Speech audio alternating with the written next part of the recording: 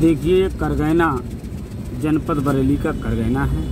आप देख रहे हैं यहाँ जो स्थिति है ये किस तरह की जो स्थिति है ये देख रहे हैं आप कितना आ, पानी है। एक तरह से यहाँ जो यात्री हैं उनके लिए बड़ी आ, आ, समस्या का सामना करना पड़ रहा है। आप देखिए कितना पानी इसमें भरा हुआ है। अभी तक किसी भी अधिकारी ने यहाँ कोई ध्यान नहीं दिया है। देखिए आपको सामने हम दिखा रहे हैं ये जो करगैना बरेली। देखिए, बड़ी ही समस्या यहाँ खड़ी है यात्रियों के लिए। बड़ा मैंने मुनोचा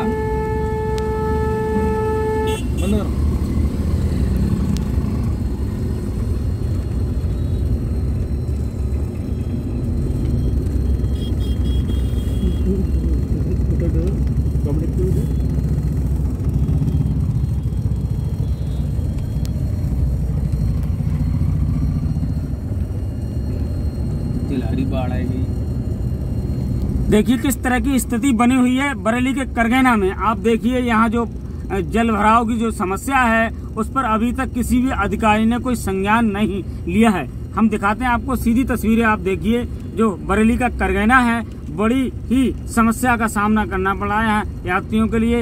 यहाँ देखिए आप जल भराव। अभी बारिश शुरू नहीं हुई उसके बावजूद भी यहाँ जो जल भराव की समस्या है, वो बहुत ही ज़्यादा खतरनाक है।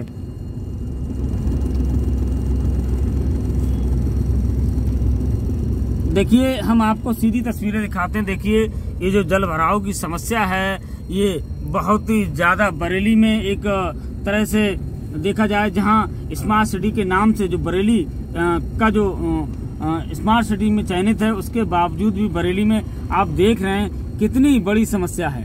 ये जल भराव है।